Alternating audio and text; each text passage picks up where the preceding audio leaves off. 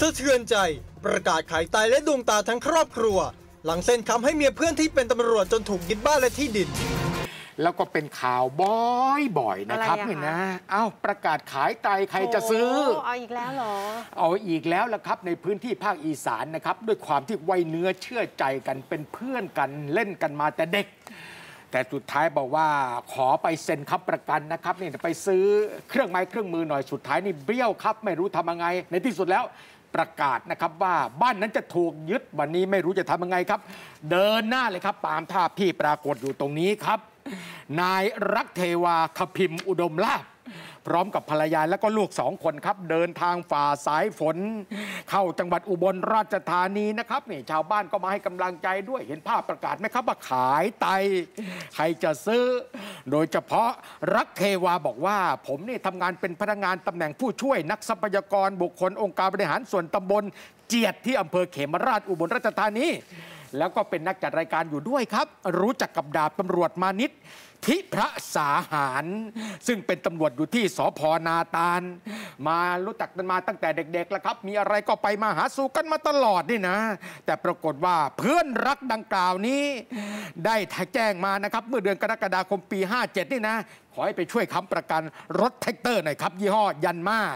ให้ภรรยาคือคุณจุรรัตน์ทิพย์พระสาหารนะซึ่งเป็นด้วยความคิดที่ว่าเป็นเพื่อนสนิทไว้ใจกันครับ แล้วก็เห็นว่าเพื่อนมีการทำงานที่มั่นคงเป็นตำรวจด้วยแล้วก็เพื่อนก็ยังรับปากว่าจะไม่ทำให้เดือดร้อนแน่นอน จึงได้ตอบตกลง เพื่อไปค้ำประกันซื้อรถแทรกเตอร์มูลค่า 8 0 0แสนบาทที่อุบลโอ้ราชธานี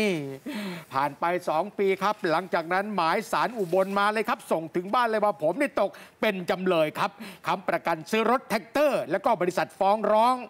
นี่นะเอาทำยังไงติดต่อไปกับเพื่อนนะครับเพื่อนก็ศาลก็อะศาลนัดไกล่เกลี่ยครับจะรับผิดชอบ แต่สุดท้ายนะครับก็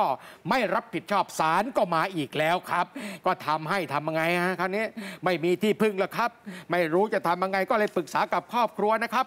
สิ่งปลูกสร้างบ้านที่อยู่อาศัยเนี่ยประกาศขายทอดตลาดหมดแล้ว อยู่ระหว่างการประกาศขาย เพราะฉะนั้นไม่รู้ทำยังไงพอไม่มีบ้านจะอยู่แล้วก็เลยประกาศเลยครับว่าวันนี้ผมขอขายไตอวัยวะส่วนใดนะครับของร่างกายที่ต้องการตาก็ได้นะครับ ยกไปครอบครัวเลยครับ เพื่อแลกกับเงินจำนวนดังกล่าวนี้ ซึ่งจะไปซื้อบ้านคืนไว้อย่างนั้นนะครับ นี่เป็นความเดือดร้อนของครอบครัวหนึ่งนะครับ ถามว่าเป็นข่าวใหม่ไหม ไม่ได้เป็นข่าวใหม่เลยนะครับ เป็นข่าวที่ว่าเกิดขึ้นบ่อยๆแต่พูดถึงเรื่องของการขายไตไปปั๊บนะครับ ไม่ใช่เรื่องที่ทำได้ในประเทศไทย อันนี้เป็นองค์ความรู้ที่แจ้งข่าวกันนะครับ เห็นภาพไหมครับเพจด็อกเตอร์คิดนี่ครับได้ตอบคำถามเรื่องของสุขภาพไตที่ว่านี้ ถ้าเทียบราคาการขายไตหนึ่งข้าง เทียบแค่มือถือหนึ่งเครื่องเท่านั้นไม่ได้แพงอะไรนะครับ แต่มันจะผิดกฎหมายนะครับนี่นะถามว่าเคลื่อนเคลื่อนไหวได้ แต่ขายจริง ไม่ได้นะครับคุณเดชานี่นะใช่ผิดกฎหมายนะครับ อันนี้ต้องย้ำนะครับ เรายังซื้อขายอวัยวะกันไม่ได้นะคะถือว่าเป็นของผิดกฎหมายค่ะ คุยขโมยสามโมคุยขโมยสาม